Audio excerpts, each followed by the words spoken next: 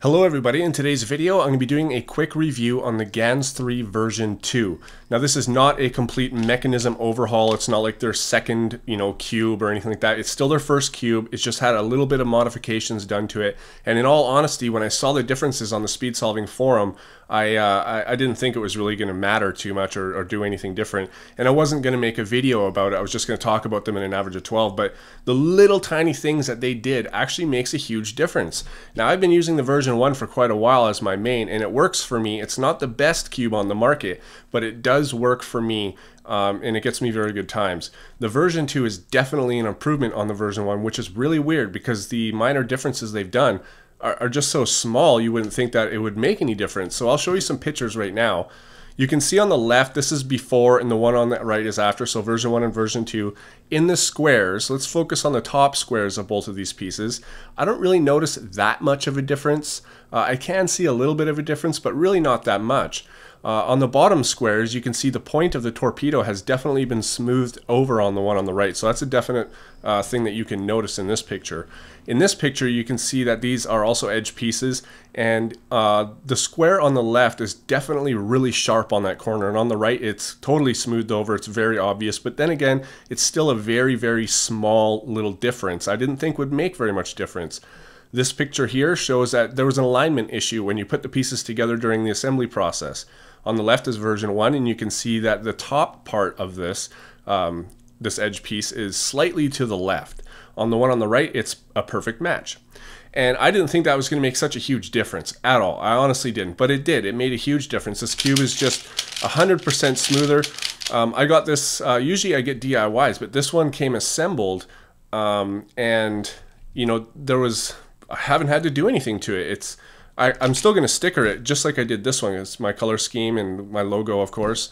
Um, but other than that, I don't. The tensions are perfect. It's been pre-lubed with something. I'm guessing silicone, but it it really there's no spring noise. It just out of the box is absolutely perfect. Now the GANS 3 isn't the best at corner cutting. You see it can't really cut 45 at least on this tensions, but it can cut this much very very easily. And I mean that's really all I need to cut, if that. And reverse corner cutting has always been good on this puzzle as well, especially small amounts is really effortless, and that remains the same on version 2.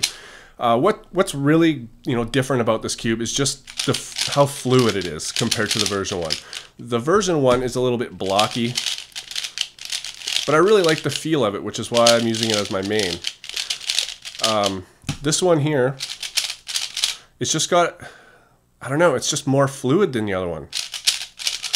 It uh, seems to go faster. I'm getting better times on it. Um, it's got that same feeling that I like about the GANS 1, uh, version 1, except it's just better, it's smoother.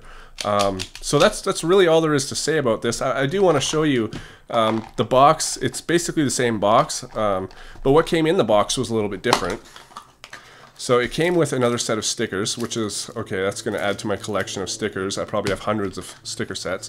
Now, what you used to, to tension it used to be this, uh, you know, this metal, you know, tool, and now it's this tool. So the way you tension this is you take off a cap, and you can see the nut in there just like before, and this fits over top. And I'm guessing they made it plastic because it's cheaper to make, and it works. Now, I've moved it around, and it, it it's perfectly molded for the nut. So it's not too big, it's not too small, it fits perfectly. And that's how you tension this cube. Um, so yeah, not, not very much differences, but there are some differences and they're so small, but make such a huge difference. So I'll do one quick solve before I'm done here. I'll just go ahead and scramble it up. All right. Okay.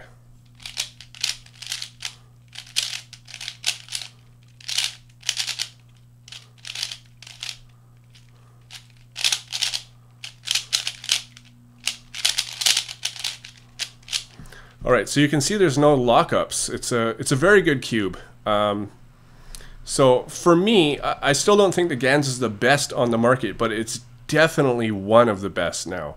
Um, now, what is the best? I don't know. It's the best for me, I can say that. But I think, you know, from reading around and, and stuff like that, a lot of people are liking the Moyu waste or uh, uh, Weilong these days and stuff. So I think the majority would say that this isn't the best cube on the market, but it is one of the best. So this is definitely going to be my main. I'm going to go sticker it and I will upload an average of 12 in the near future using this cube. So if you would like to buy this puzzle, of course, like usual, the link is in the description. Thanks for watching guys and I'll see you on my next video.